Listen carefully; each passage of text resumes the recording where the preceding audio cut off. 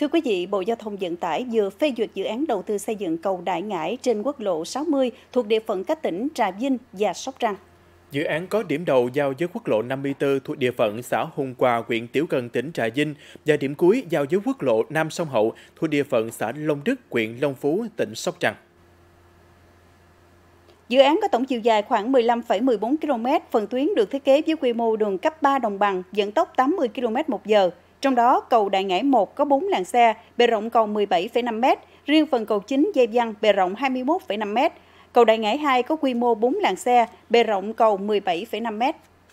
Tổng mức đầu tư dự án gần 8.000 tỷ đồng từ nguồn vốn ngân sách nhà nước, trong đó giai đoạn 2021-2025 khoảng hơn 5.200 tỷ đồng và chuyển tiếp sang giai đoạn 2026-2030 khoảng hơn 2.700 tỷ đồng. Dự án giúp nối thông toàn tuyến quốc lộ 60, nâng cao năng lực vận tải cho vùng đồng bằng sông Cửu Long, rút ngắn khoảng 80 km so với tuyến quốc lộ 1 khi di chuyển từ Cà Mau, Sóc Trăng, Bạc Liêu về thành phố Hồ Chí Minh.